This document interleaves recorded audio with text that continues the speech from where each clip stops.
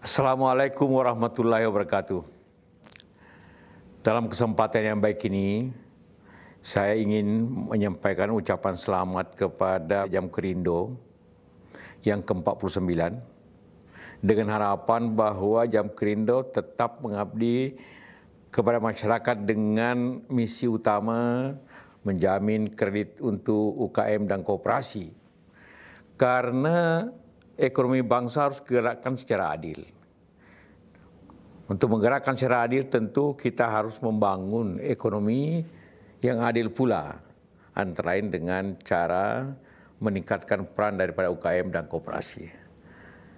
Untuk menggerakkan itu tentu dibutuhkan kredit dan dengan menjamin kredit daripada penjaminan kredit daripada yang Krindo tentu akan lebih memudahkan UKM untuk bergerak membangun ekonomi bangsa. Sekali lagi selamat. Wassalamualaikum warahmatullahi wabarakatuh.